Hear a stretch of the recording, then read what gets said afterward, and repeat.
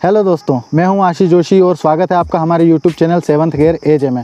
दोस्तों अभी कुछ ही दिन पहले मैंने अपना यूट्यूब पे पहला वीडियो डाला था, जो कि आप लोगों ने काफ़ी पसंद किया, उसे काफ़ी प्यार दिया, उसके लिए बहुत बहुत धन्यवाद दोस्तों उस वीडियो में मुझे कुछ कमेंट्स मिले थे कि भाई आपकी गाड़ी हमें बहुत अच्छी लगती है या आपने आपकी गाड़ी में कुछ मॉडिफिकेशन जो भी आफ्टर मार्केट एसेसरीज डलवाई है या आपने जो भी मॉडिफिकेशन आपने किए हुए हैं हमें आपका गाड़ी का इंटीरियर बहुत अच्छा लगा या आपने जो भी मॉडिफिकेशंस किए हैं आप उसके ऊपर हमें एक वीडियो बताएँ जिससे कि हमको उससे कुछ आ, समझने को मिले या हमको उससे कुछ रिलेटेड जानकारी मिले कि आपने उस आपकी गाड़ी में आ, क्या क्या करवाया हुआ है। तो दोस्तों, आज का वीडियो इसी के ऊपर है। मैं अपनी गाड़ी का एग्जिटियर इंटीरियर में मैंने क्या क्या आफ्टर मार्केट एसेसरीज़ लगवाई हैं, मैंने अपनी गाड़ी में क्या क्या मॉडिफिकेशंस किए हैं, आज हम उसी बारे में बात करेंगे। तो आइए शुरू करते हैं आज का वीडियो। तो दोस्तों, मेरा पर्सनल थिंकिंग एक ये रहता है कि गाड़ी में आप मॉडिफिकेशंस जो भी कराएँ ज़्यादा से ज़्यादा आप इंटीरियर में कराएँगे तो ज़्यादा अच्छा रहेगा।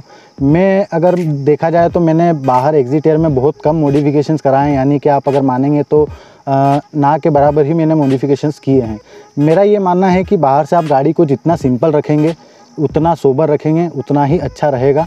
गाड़ी में आप अगर बाहर की तरफ़ देखा जाए तो अगर कुछ कॉस्टली या जिनको बोलते हैं कि थोड़ा सा बड़ा मॉडिफिकेशंस करते हैं जिससे कि आप ग्राउंड क्लियरेंस जैसे कम कर रहे हैं, या आप कुछ मॉडिफाइड बम्पर उसमें लगा रहे हैं, या कुछ एक्सपेंसिव अगर आप मॉडिफिकेशंस करते हैं, या कुछ बड़े लेवल पे करते हैं तो ही गाड़ी आपकी अच्छी लगती है।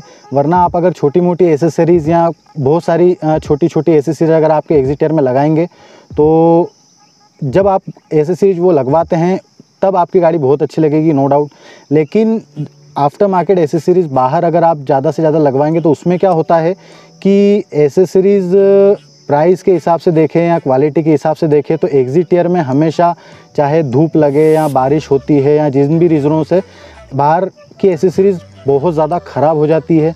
जब आप लगवाते हैं, जब बहुत अच्छी लगेगी, लेकिन कुछ समय बाद अब आपकी एसेसरीज़ देखेंगे तो काफ़ी डल पड़ने लग जाती है। डल पड़ने के बाद ये होता है कि जैसे मान लें आपके क्रोम हैंडल्स अगर आपने एग्जिटर में लगवाएँ तो जब आप लगवाते हैं, जब आप उसकी शाइन देखेगा, बहुत अच्छी रहती है। या जब आप कुछ समय बाद अगर उन्हीं चीज़ों को देखते हैं तो हो सकता है कि चार में से आपका एक हैंडल कहीं टकराने से टूट गया हो। या हो सकता है कि उनकी चमक जो रहती है, वो कम पड़ जाती है। इस वजह से आपकी गाड़ी और ज़्यादा बेशेप होगी। मेरा पर्सनल थिंकिंग यही रहता है कि आप बाहर कम से कम मॉडिफिकेशंस कराएँ, या लिमिटेड एसेसरीज लगवाएँ। आप अंदर चाहें उतना मॉडिफिकेशंस कर सकते हैं, चाहे वो साउंड से रिलेटेड हो, चाहे आपका डैशबोर्ड असेंसर से रिलेटेड हो, चाहे वो आपकी अंदर की जितनी भी एसेसरीज रिलेटेड हो सीट कवर्स हो मेटिन हो, आप इन पे चाहें उतना खर्चा करके या कम से कम खर्चे में भी आप इन्हें ज़्यादा से ज़्यादा अच्छा लुक दे सकते हैं इंटीरियर में। मेरा यही मानना रहेगा कि आप एग्जिटर के बजाय इंटीरियर में ज़्यादा मॉडिफिकेशंस करें। मैंने अपनी गाड़ी में भी यही कर रखा है, जो कि मैं आपको अभी शो करूँगा।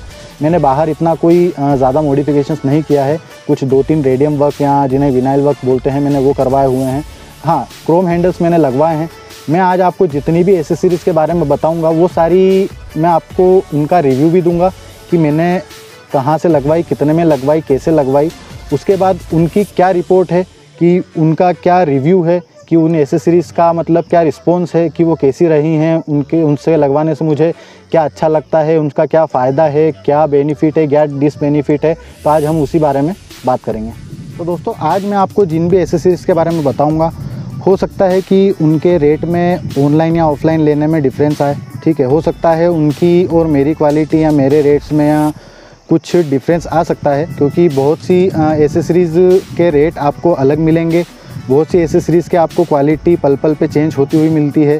इस वजह से मैं क्वालिटी या रेट में किसी भी तरह का आपको प्रॉमिस नहीं करूँगा कि आपको भी सेम इसी रेट में सेम क्वालिटी मिल जाएगी।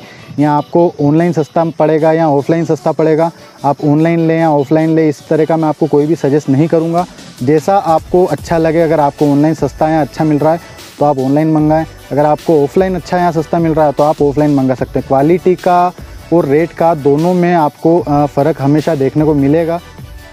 तो दोस्तों अगर मैं बात करूँ बाहर की एग्जिटियर की तो मैंने कुछ ऐसा खास नहीं किया हुआ है। Sports mind produced by sports का एक डिज़ाइन मैंने रेडियम से करवाया है। एक्चुअली आप चाहें तो ये आपको ऑनलाइन अमेज़न वगैरह साइट्स पे भी आ, मिल जाएगा जो कि विनाइल रहता है। मुझे विनाइल पर्सनली पसंद नहीं है।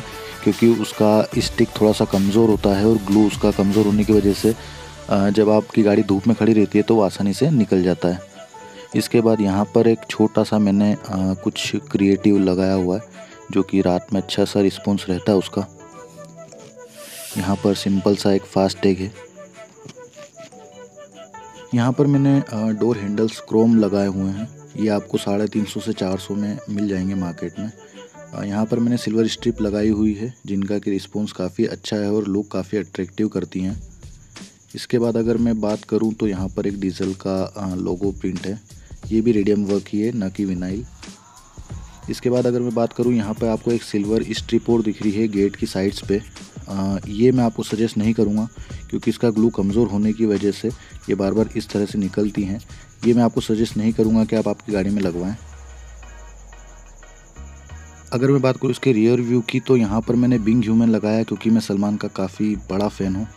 इसके बाद यहाँ पर आप देखेंगे कैमरे की प्लेसमेंट जो कि आपको रियर व्यू कैमरा जिसे हम बोलते हैं, वो यहाँ पर मैंने इस तरह से लगवाया है। तो दोस्तों, सबसे पहले अगर मैं बात करूँ साउंड सिस्टम की तो मैंने यहाँ पे आप देख सकते हैं रोड लिंक का एक वूफर लगाया हुआ है। ठीक है। ये मैंने अप्रोक्सीमेट तीन हज़ार पाँच सौ के आसपास लगवाया था। इसका रिस्पॉन्स काफ़ी अच्छा है। ये देखिएगा यहाँ पे मैंने एम ड्राइव के ट्रे पे मैंने दो स्पीकर्स लगाए हुए हैं। ठीक है आ, इन ये कितने वाट्स के हैं ये तो मुझे क्लियर नहीं पता। है बट इनका रिस्पॉन्स अगर देखा जाए तो इनका साउंड कम ज़रूर है लेकिन क्लियर है।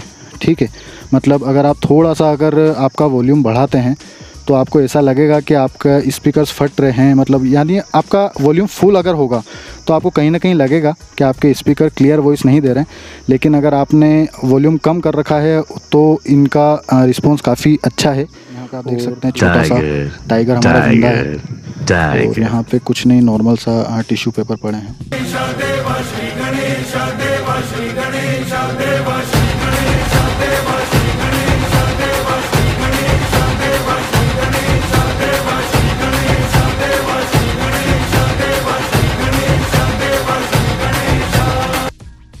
दोस्तों कुछ इस तरह से मेरा इंटीरियर आपको देखने को मिलेगा। इसमें बहुत सारी छोटी छोटी मैंने एसेसरीज देखा जाए या प्लेयर देखा जाए तो लगवा तो दोस्तों ये जो प्लेयर है ये भी एम ड्राई कंपनी का ही है। कंपनी तो क्या आ, ये लोकल ही कोई सी कंपनी है। आ, मुझे इसका रिस्पॉन्स काफ़ी अच्छा लगता है। इसे फुल एंड्रॉयड मीडिया प्लेयर तो नहीं कह सकते बट ये सेमी एंड्रॉयड ये है। आ, इसमें आप मीरा कास्टिंग या जो आप मोबाइल की डायरेक्ट स्क्रीन अगर आप चाहें तो इसमें कनेक्ट कर सकते हैं। इसमें टू पॉइंट्स हैं आपका बेस और स्पीकर्स लगाने के लिए, जिन्हें हम ड्यूल स्टीरो भी कहते हैं। इससे आपका फ़ोन ब्लूटूथ वगैरह और सारी चीज़ें इसमें मौजूद हैं। इसका रिस्पॉन्स काफ़ी अच्छा मुझे लगता है। इसका आउटपुट मुझे काफ़ी अच्छा लगता है। इसका ब्राइटनेस हुआ या इसका टच मुझे काफ़ी अच्छा लगता है। ठीक है। ये मैंने जैसे कि आपको पहले ही बताया, ये कोई भी अच्छी कंपनी का नहीं है बट फिर भी इसका रिस्पॉन्स अच्छा है।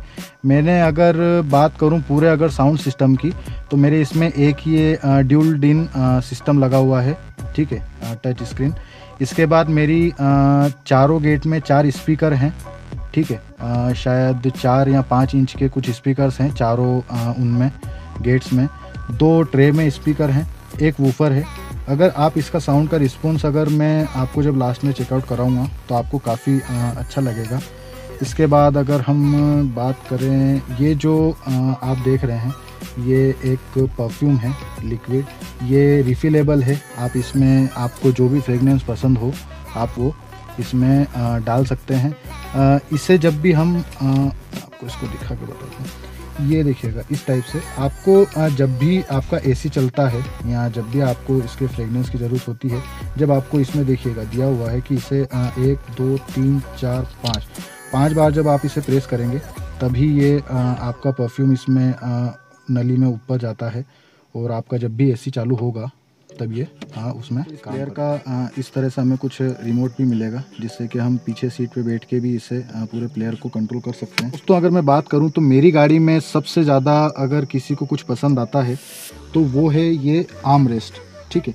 ये आर्म रेस्ट भी बोल सकते हैं इसे हम सेंटर कंसोल भी बोल सकते हैं ठीक है? इसमें आपको आ, इस तरह से ये खुल जाता है। जब आप लॉन्ग ड्राइव पे जाते हैं जब भी होता है जब आपका ये आर्म इस तरह से आप टिका सकते हैं ठीक है। आर्म जब आप इस तरह से टिकाते हैं तो आपको लॉन्ग ड्राइव में इस तरह से हम इसमें कुछ भी आ, सामान इसमें हम आ, रख पाएँगे ठीक है। इसमें कुछ भी कोइंस या जो भी स्मोकर्स हैं उनके लिए ये स्टे का भी काम करता है। दोस्तों यहाँ पे आपको एक ये व्हील टाइप दिखेगा। ये भी एक्चुअल में परफ्यूम ही है। आ, ये परफ्यूम जो है फ्रेगनेंस इसका इतना कुछ मुझे दमदार नहीं लगता है बट ये लुक वाइज एक्चुअली थोड़ा सा स्टाइलिश लगता है। ठीक है इस वजह से मैंने इसे अपनी गाड़ी में लगाया हुआ है। दोस्तों अगर मैं बात करूँ प्लेयर की वूफर की और सॉरी मैंने मिस कर दिया था कि इनके रेट्स भी मुझे आपको बताना है इनका रिस्पॉन्स भी आपको बताना है। अगर मैं बात करूँ इस प्लेयर की वूफर की इनके चारों स्पीकर्स की तो इन्हें मैं आ, साल भर से यूज़ कर रहा हूँ। मुझे किसी भी तरह का कोई प्रॉब्लम नहीं लगा है। इसमें अगर देखा जाए तो आपको छः महीने की इसमें वारंटी भी मिलती है। अगर आपका एम ड्राइव के कंपनी के वूफर में वूफर एक्चुअली मेरा रोड लिंक का है। उसमें भी मुझे छः महीने की वारंटी मिली थी। और स्पीकर जो हैं, उनमें भी मुझे वारंटी छः महीने की मिली है।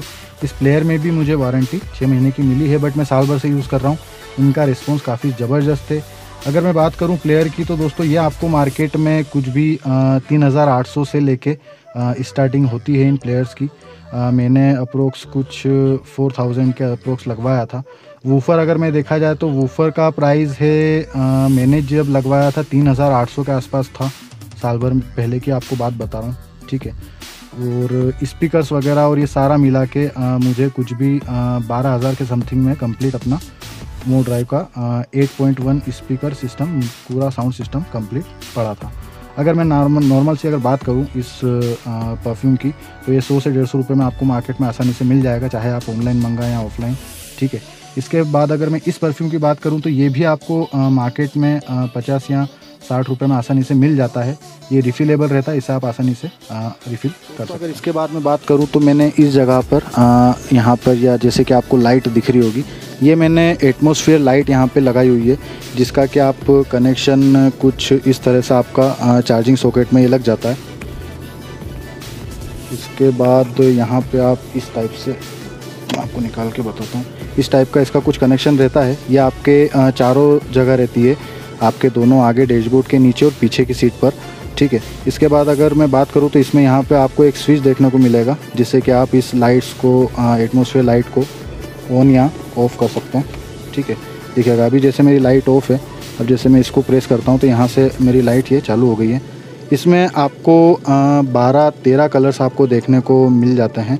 इसका अगर मैं रिमोट की बात करूँ तो हमें कुछ इस टाइप का रिमोट इसके साथ में मिलता है, ठीक है? इसमें आप अलग अलग तरह से सेटिंग्स आप कर सकते हैं कि आपको म्यूज़िक के साथ लाइट प्ले करनी है या आपको ब्लू कलर चाहिए कंटिन्यू या रेड कलर चाहिए येलो कलर चाहिए वाइट कलर चाहिए जिस भी तरह से आप चाहें इसमें यहाँ पर मैंने आ, एक क्वांटम का यूएसबी हब लगा रखा है जिसमें कि यहाँ पर मैंने इसको आउटपुट दे रखा है।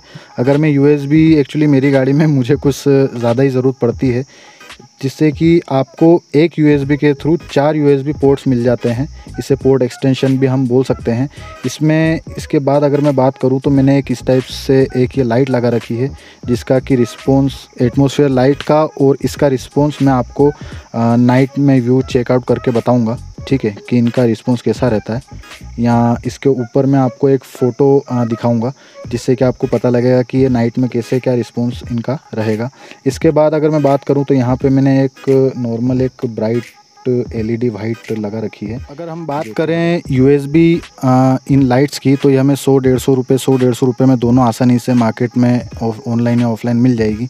अगर इसके बाद मैं बात करूँ आपको एटमोसफियर लाइट की तो एटमोसफियर लाइट का रिस्पॉन्स नाइट में बहुत ज़बरदस्त निकल कर आता है जब अंधेरा होता है ठीक है। एटमोसफेयर लाइट आपको ऑनलाइन तीन सौ से साढ़े तीन के बीच में आपको आसानी से मिल जाएगी। बाद दोस्तों मैंने यहाँ पे कुछ इस तरह से कुशन लगा रखे हैं दो जो कि आपको मार्केट में कुछ भी दो सौ से ढाई सौ के बीच में आसानी से आ, मिल जाएँगे। पर मैंने एक ट्रंक एलईडी लाइट भी लगा रखी है जो कि आपके इंडिकेटर्स और ब्रेक से आ, कनेक्ट होती है। जब आप ब्रेक लगाएँगे तो ये पूरी इस तरह से ब्लिंक करके और रेड सिग्नल देगी। जब आप इंडिकेटर देंगे, अगर आपने लेफ़्ट का इंडिकेटर दिया तो ये इस तरह से राइट का इंडिकेटर देंगे तो इस तरह से काम करेगी। लेफ़्ट का इंडिकेटर देंगे तो ये इंडिकेटर के साथ इस तरह से काम करेगी। हालाँकि अभी रोशनी ज़्यादा है, आपको इसका रिस्पॉन्स चेकआउट में नहीं करा सकता। बट इसका नाइट का रिस्पॉन्स मैं इसी वीडियो में इनके अगले वीडियो में आपको जब भी होगा चेक रिस्पॉन्स इसका नाइट वाला आपको करवा दोस्तों अब मैं आपको इसका साउंड चेक करके बता देता हूँ।